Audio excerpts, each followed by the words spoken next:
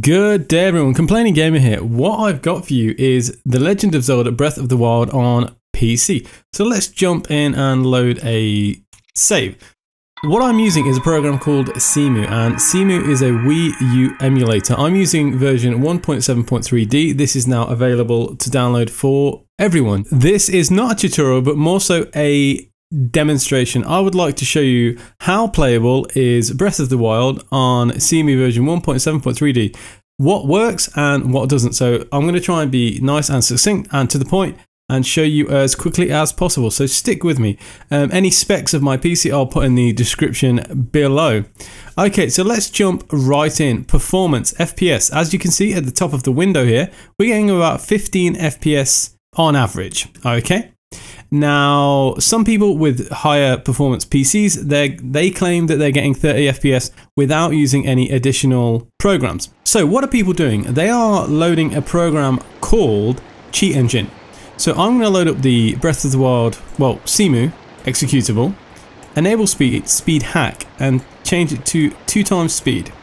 Okay. This is going to create the illusion of more frames, but it's a very, very good illusion. So as you can see, if I pan around, it seems quite smooth. Now, I should say that I am using preloaded uh, shaders, and my shader cache is around 15,000.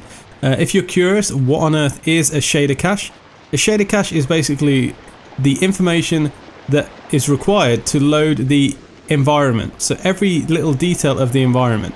What that does, having a shader cache, it prevents stuttering or lag or poor performance so that you can actually have a slightly playable uh, experience. Anyway, so what's working and what isn't? The big issue at the minute is the collision physics. So as you can see, we have water here, it's, and it's we're in the middle of a storm. It's a bit of a rainy day. Now, water, grass, certain runes do not work. What does that mean? That means that your progression is limited. So you cannot get past certain missions or certain shrines. So let's jump straight in. We make no physical contact with the water. As you can see, the fish are also having a bad day. But where the water is active and moving, you'll see a slightly different scenario. Okay, so let's jump into the water and not run out of stamina. So as you can see, we can actually swim. In terms of the runes, okay, let's quickly go over them. Uh, the bombs work. Both bombs work. Uh, magnesis does not work. Stasis does not work. Now this is all apparently related to the collision physics. Cryonis does work where water is active and also in many of the shrines. So for example, I can show you that now. So there you go, it does work. The camera does not work, okay? So as you can see, it's a very, very uh, blurry image. Now this limits you on certain missions and you cannot take any pictures.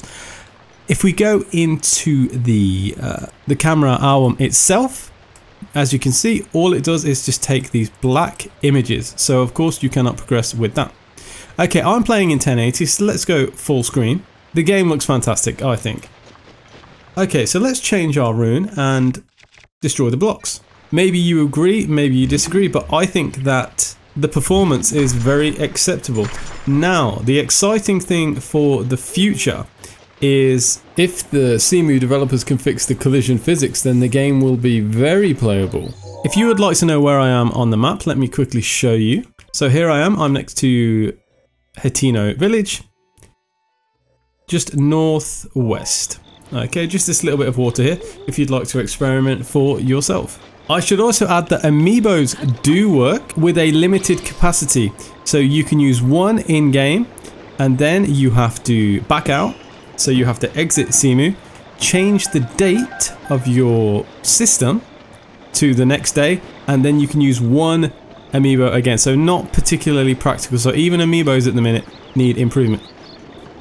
Let me show you what happens when you first load Breath of the Wild with 15,000 shaders. Okay, we're going to open it up and we're also going to follow the task manager because you need to see how much RAM this is going to use. It gets a little bit crazy.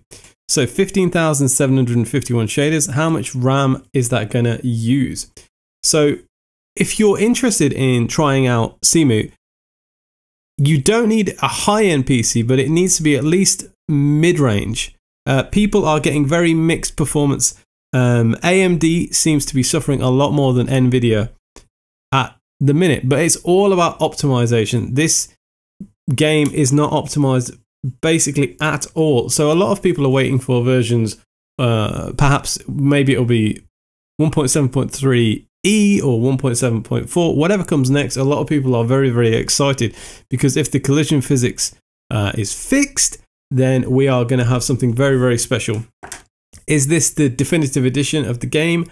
Absolutely not. Not yet. Stick to your Wii U, stick to your um, Switch. So as you can see, we are using 15 gigabytes of RAM. Some of the additional errors involve things like the graphics and the textures tearing or popping. Other people are experiencing audio glitches. For example, if you're in a shrine, sometimes the camera can get stuck Cutscene videos do not play because the codec is not supported. Therefore, when there is a cutscene, you just get this psychedelic madness on screen. And there's a variety of minor bugs that vary from person to person. As I showed you earlier, there's no physical collision with the majority of water in the current build, but this does allow for some interesting exploration where you can just travel the seabed. One thing that's plain to see is the fact that physics are all over the place at the minute and it all comes back to collisions. Interestingly, shrines themselves are considered separate to the main map, and even without using something like Cheat Engine at double speed, you can actually get a solid 30 FPS when in the majority of the shrines. The most common glitch is that Link sinks into any grassy type area up to about his knees, as do NPCs and enemies, and a lot of these issues always stem back to the same problem. One Reddit user who goes by the name PancakeJake123 actually fell through the map when riding a horse and he fell all the way to the bottom. And what he discovered when he was there was the missing grass and water. So they do appear to be rendered just very, very far below the map. Because of the mission progression limitation due to some elements of the game not working, people who want to progress further than said missions, what they're doing is they're just loading save states that they've already got from their own consoles. This way, they can get past the missions that are currently blocking progression. There are Cemu users with rather powerful computers saying that they do not need anything like Cheat Engine. They're able, with the support of a shader cache, to maintain 30 FPS in the open world. Now, Cheat Engine itself is a great substitute for people who have mid to low range PCs because it can create the illusion of that heightened FPS. When the FPS is where it should be, at around 30, for example, in Shrines, and you also have Cheat Engine on, it creates this very funny illusion where the game is too quick and Link looks like he's on some kind of speed. So in some scenarios you need Cheat Engine on and in others you need to turn it off. My advice is that if you are an extreme Zelda enthusiast, then why not give Cemu a try? However, you need to be ready for the fact that you're going to need to do a lot of tweaking and optimizing yourself as the software currently isn't there yet. As a bit of an honorable mention, I'd like to say a big thank you to Gianmarco Chirico because he's the guy that found the fix for all of the soft locking that was happening in the game there you go. There's a quick little update on how Zelda is running on Cemu 1.7.3D.